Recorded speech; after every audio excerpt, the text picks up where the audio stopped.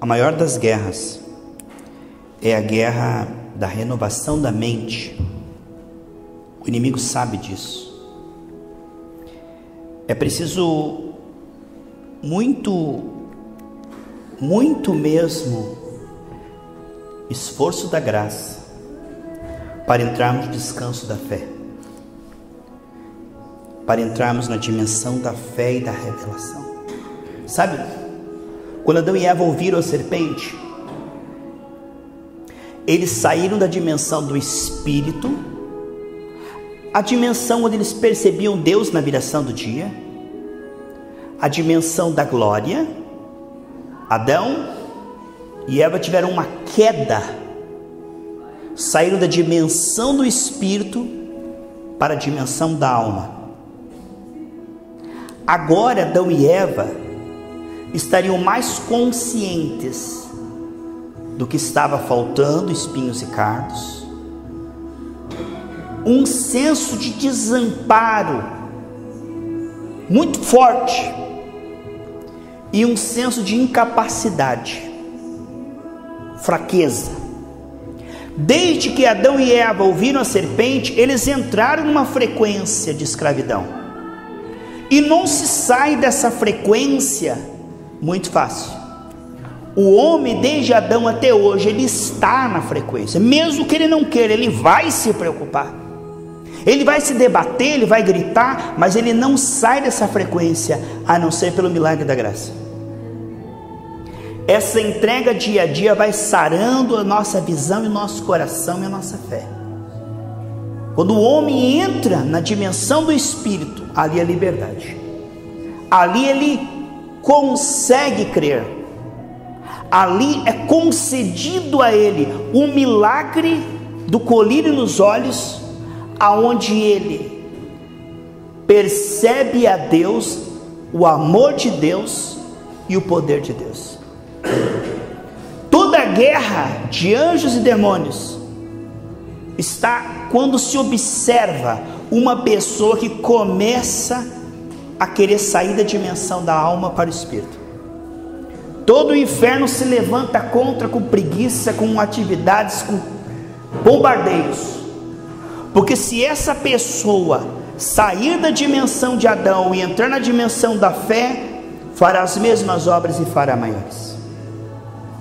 É uma guerra e um grande combate entrar no descanso da fé. Lá onde a preocupação é loucura. Lá onde adorar a Deus é sabedoria. Poucos habitam nessa frequência, poucos escapam da escravidão. Como Paulo diz: quem me livrará do corpo desta carne? Então o inimigo pega pesado. E temos agora muito mais tendência a alma do que o espírito, por causa da queda. Antigamente, para Adão era mais fácil perceber a Deus do que o problema. Era mais fácil Adão adorar Deus do que lutar contra o pecado. Mas quando Adão e Eva caíram, agora é mais fácil se preocupar do que crer. É mais fácil, tudo conspira para baixo tudo conspira para um abismo chama outro abismo. Hoje, tudo coopera para você ficar preocupado, tudo coopera para você ficar chateado e se sentir desamparado. Então, desde que Adão e Eva escolheram a dimensão de viver por vista e não por fé, nos colocaram nessa escravidão. E agora é com guerra o bom combate fé sair disso e entrar na dimensão da realidade de Deus. Eu digo a você, seja sábio com tudo que você tem, busca o conhecimento, busca a comunhão com o Senhor dia a dia, como disse o Guilherme, lê a Bíblia, não está entendendo? Mas está lendo. Está ouvindo o áudio, não está está sentindo nada, mas está. Quer dizer, você está fazendo a tua parte, você está se expondo à pomada da graça sobre a ferida. E isto, o diabo diz: não faz diferença você ir no culto ou não ir. Não faz diferença só hoje você ler a Bíblia e não ler, porque ele sabe que se o tratamento for interrompido, você passa uma pomada e para de passar, a ferida volta. Nós estamos numa guerra, irmãos. Deus quer nos levar para a dimensão do espírito, o diabo quer nos levar para a dimensão da carne. E o natural hoje é a dimensão da carne. O sobrenatural é a dimensão do Espírito. O Salmo 41, 12 diz assim: que o Senhor nos mantém íntegros e o Senhor nos coloca na sua presença. Se você quiser que jogar algo assim, ó, e ao invés de ele cair, ele subir, isso é milagre. Entende? A não ser que alguém coloque uma mão e levante, ó. Aí ele, aí ele sobe. Mas sem o apoio de nada, pá, ele cai, não é assim? Assim é a nossa alma. Sem o trabalhar da graça, nós nunca estaremos amanhã com mais fé do que hoje, jamais. Isso não vai acontecer naturalmente. É como deixar um terreno baldio e falar assim: olha, eu vou deixar ali, mas vai nascer um pomar. Não vai. Tudo conspira para espinhos, cardos e terreno baldio só vai dar coisa ruim, é não é, irmãos? Para dar um pomar requer muita dedicação e aplicação ali naquele terreno, é não é? Assim é o nosso coração. Entregue a preocupação, a carnalidade, a televisão, o mundanismo e a preguiça, ele tende a piorar dia a dia. Cada dia mais frio, mais duro, mais sensível, mais incrédulo, mais murmurador, mais preocupado, mais é, melindroso. E esse trabalhar da graça, Deus está disposto, mas Ele não impõe, Ele propõe. Esse trabalhar da graça, de nos tirar da esfera de Adão e nos levar para a dimensão do Espírito, é um trabalhar proposto. E quem é sábio? Aquele que não poeticamente diz, mas aquele que responde: a casa na rocha é aquele que ouve, pratica. Mateus 7,24. Um certo pai disse para um filho: Vai trabalhar na vinha. Ele falou: Eu vou, pai. Mas depois a preguiça bateu, ele não foi. E o outro disse: Eu não vou, não. Depois se arrependeu e foi. Diz: Qual fez a vontade do Pai? Aí está. O Senhor nos chama a santificar a nossa vida, amém, amados? Uma resposta poética é: Tá bom, pode deixar, pastor. E uma resposta prática é: Não estou com vontade na minha carne, mas vou fazer. Aquele que faz um voto, Rosana, mesmo com dano seu, não volta atrás do que ele disse. Está chovendo? Vou. Estou com dor nas costas? Vou.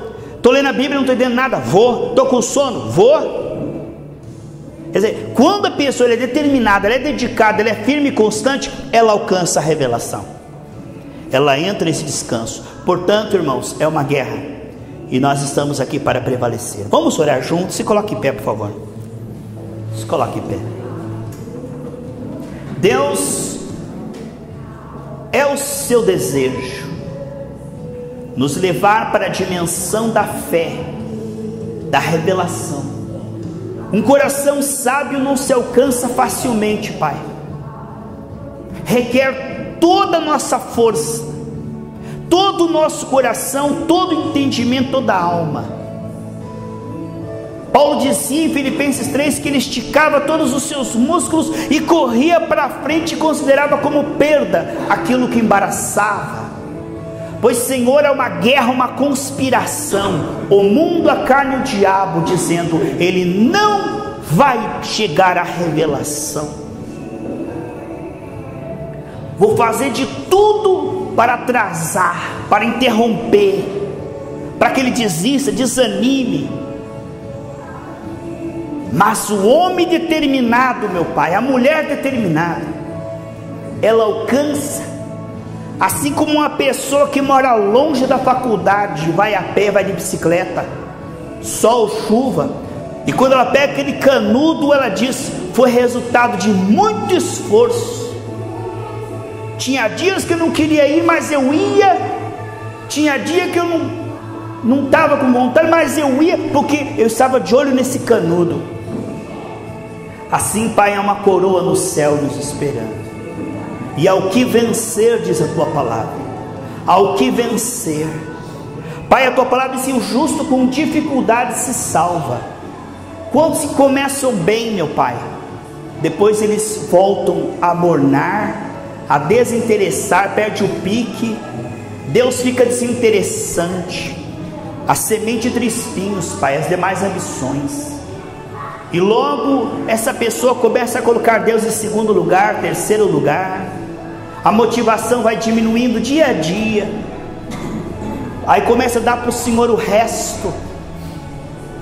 A tua palavra diz em Malaquias: Eu vou amaldiçoar tuas bênçãos. Se você não me honrar, eu vou amaldiçoar a tua bênção.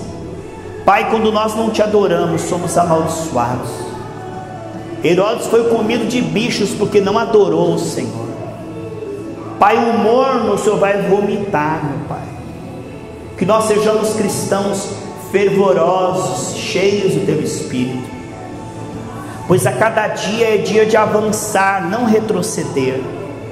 Cada dia, meu Pai, é dia de sair um pouco mais da dimensão de Adão, para a dimensão das tuas revelações, dos teus mistérios, da tua fé, da tua alegria, da tua paz é dia de amar mais as pessoas, evangelizar, interceder, estar envolvido com a tua causa. Pois quando estamos envolvidos com a tua causa, Pai, por amor, como filhos, nós aprendemos de ti, tomamos o jugo. Quantos cristãos, Pai, que já quebraram o jugo e não estão aprendendo de ti, que é manso, por isso eles não têm descanso, vivem deprimidos, pensando em se matar, porque tiraram o jugo o Senhor diz: toma o jugo, aprenda de mim que sou manso, e você vai encontrar descanso. Pai, há um jugo, o jugo nos coloca no caminho reto, prossegue nesse passo e aprendei de mim. Pai, há um jugo, a nossa carne não gosta de orar, não gosta de jejuar, há um jugo, Pai. A nossa carne não gosta de renunciar ao pecado, a nossa carne não gosta de evangelizar, de interceder. A nossa carne não gosta de ler a Bíblia, Pai. Esse é um jugo. E aquele que fica no jugo, ele avança, porque o jugo puxa para frente, Pai. Mas quando nós rebelamos, quebramos o jugo, saímos e dizemos: A minha vida é minha, eu faço dela o que eu quiser, eu não vou seguir essa santificação sem a qual ninguém verá o Senhor. Pai, quantas coisas que parecem mais preciosas do que o céu agora Agora, para nós, muitos fazem como Isaú: quando o pai morrer, eu vou ter primogenitura, eu quero aqui agora o guisado de lentilhas. Quantos que dizem, quando eu morrer, céu está muito longe. Quantos, meu Deus, que veem o céu, a salvação como algo não tão importante assim. Importante é eu agora fazer aqui um, meu pé de meia, o importante é eu curtir a vida, fazer isso, fazer aquilo, porque o céu, ah, isso depois a gente vê. Na tua palavra diz: buscai, pois o reino de Deus é sua justiça. Porque a qualquer momento a trombeta vai tocar, Senhor. E aquele que estiver com as vestes brancas, como foi pregado aqui nessa noite, nossas vestes não são brancas com sabão homo, não tem nada que lava nossas vestes, Pai. Nada, nada, nada, nada lava nossas vestes, senão o sangue de Jesus. E este sangue é aplicado sobre o pecado confessado. Aquele que tiver mancha na roupa não sobe, Pai. Aquele que tiver com a roupa manchada, suja. Por isso a tua palavra diz em Eclesiastes: em todo o tempo sejam alvas suas vestes, e não falte o azeite. Aquelas virgens tosquenejaram na preguiça, no mundanismo. E elas não tinham se consagrado, Pai.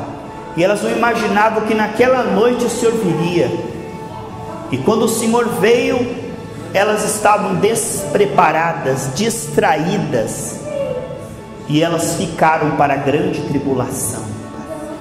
Pai, que nossos olhos estejam cravados na eternidade. Que nós venhamos a entender que somos dos céus, não da terra Estamos aqui por um período muito curto. Levanta nessa igreja, Pai, em toda a terra também, um povo zeloso, firme, constante, dedicado. Um povo que te valoriza, que te adora, que te honra, que coloca o Senhor em primeiro lugar. Porque se o Senhor estiver em segundo lugar, nós somos idólatras, e os idólatras não herdarão o reino dos céus, ó Pai. Amarás, pois, o Senhor teu Deus de todo o coração. Nos ajuda, Pai eu te peço isso sobre cada uma das nossas vidas, porque a tua palavra diz: Maldito aquele que servir o Senhor relaxadamente. nos ajude a entender, Pai, isso é muito sério. Quando foi destruir Sodoma e Gomorra, a mulher de Ló ficou com pena de sair da cidade. Ela não estava muito com desejo de escapar daquela cidade. Meu Deus, quantos cristãos que não sabem que a sua alma é eterna e não estão muito querendo escapar do pecado, do mundanismo, não estão com muita vontade mesmo de consagrar sua vida, não. Estou meio indeciso ainda, não sei bem o que eu quero, não sei se eu quero ficar aqui em Sodoma ou se eu quero sair dela, também definido, ainda não tenho certeza. Ó Pai, nos ajude a fazer isto, a gemer dia a dia, para que o nosso coração seja realmente do Senhor para que não sejamos confundidos na sua vida. É meu ou não é meu? É meu ou não é meu? Essa é minha filha? Não é? Ela quer sair ou ela não quer? Ela me ama ou não me ama? Que nós não sejamos confundidos na sua vida, Pai. Mas que o nosso coração esteja definido. Que o nosso coração esteja definido e claro. Eu sei o que eu quero. E com toda a minha força eu buscarei isso o resto da minha vida. Em nome de Jesus, amém? Amém. Vou passar para o pastor João vai dar continuidade pelas intercessões e o final do culto. Amém? Glória a Deus.